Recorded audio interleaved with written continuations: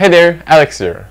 And today I decided to start a basic data engineering playlist where I'm going to try to cover some basic data engineering concepts in less than 5 minutes on a video. And today I decided to start with covering streaming versus batch pipelines. So understanding what are the difference between a streaming architecture and a batch architecture for a data pipeline. If you're interested in understanding what's a streaming pipeline and how it differs from a batch pipeline and what a batch pipeline is, I encourage you to keep watching. So let's get started.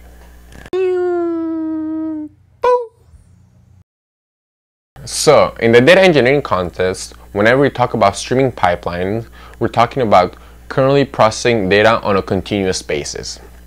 So, it means processing, for example, like bank transaction on a continuous basis so we can keep updating what the balance is on our bank account.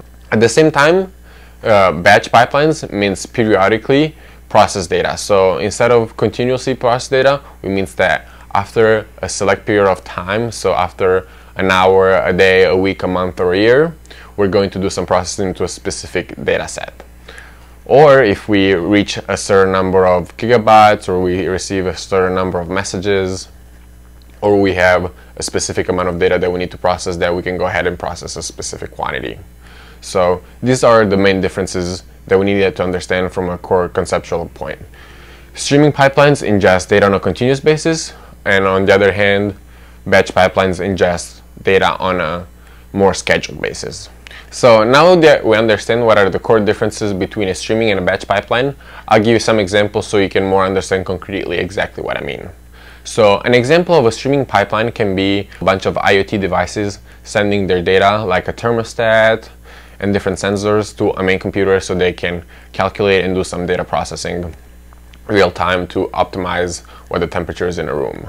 Another example of a streaming data pipeline can be updating the inventory of a store. So every time a customer checks out, it's going to update exactly the inventory of that store, the item, the count, and everything in between. And that needs to be real time so uh, the people that work at the store exactly know what the inventory is at that store. So now let's look at some example of some batch processing pipelines.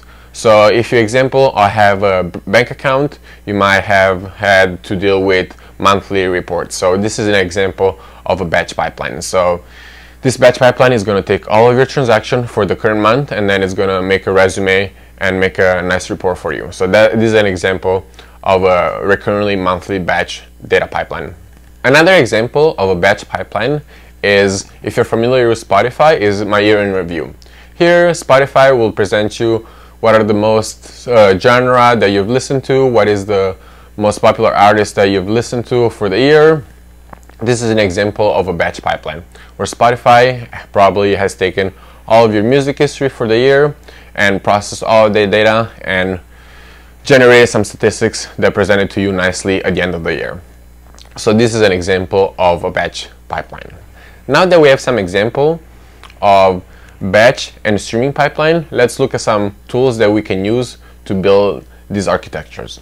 So if you want to use a big data processing framework to build a batch processing, I encourage you to look into Hadoop. It's used to do big data processing at scale. If you're interested in building streaming pipeline, you can look at the Apache Kafka ecosystem. This is a popular ecosystem that's used for building streaming pipeline.